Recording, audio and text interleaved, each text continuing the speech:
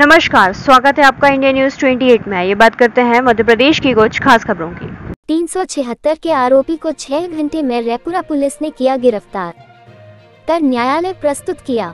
खबर मध्य प्रदेश के पन्ना में दिनांक 9 मई 2023 को फरियादी ने रेपुरा थाना में आकर रिपोर्ट की थी। दिनांक 8 मई 2023 को आरोपी ने घर छोड़ने की दहशत से जंगल में एक महिला के साथ ज़बरदस्ती बुरा काम किया।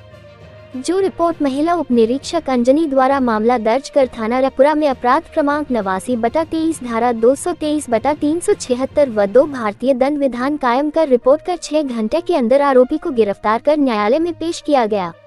गिरफ्तारी में थाना प्रभारी सुधीर बैगी, प्रधान आरक्षक सुरेंद्र साटी, बच्चू सिंह, प्रमोद प्रजापति, महिला आरक्षक चांदनी जैन का विशेष योगदान रहा।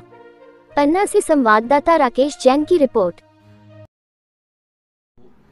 एक महिला ने थाना पर रिपोर्ट किया था कि एक व्यक्ति उसके साथ गलत काम किया है जिस पर थाना में अपराध क्रमांक नवासी अब्लिक तेईस धारा तीन सौ तेईस दो सौ तीन सौ छिहत्तर तीन सौ छिहत्तर दो एन पाँच सौ छहताही का कायम किया किया गया।